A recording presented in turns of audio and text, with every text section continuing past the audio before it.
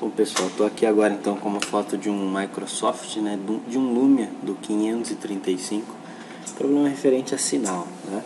Então primeira coisa pessoal, sempre que você tiver problema referente a sinal em um aparelho, você tem que buscar pelo filtro, né?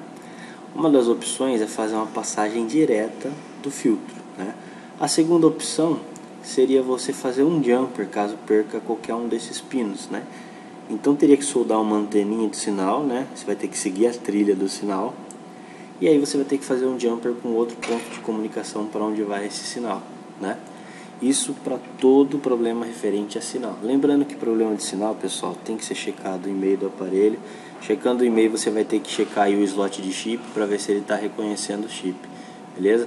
Então, seria uma alternativa fazer um jumper nesse filtro e Caso o jumper não resolva, você vai ter que puxar esse sinal aí de algum lugar que ele esteja vindo, interligando aí, tá?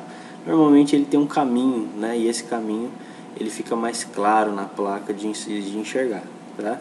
Então normalmente o problema relacionado a sinal então é está relacionado a esse filtro de sinal. Então é só olhar onde fica esse filtro, no caso do, do Lumia 535, fica próximo ao conector aqui do lado direito. É só a gente fazer esse jumper aqui, jumpear que aí o sinal volta a pegar legal, beleza?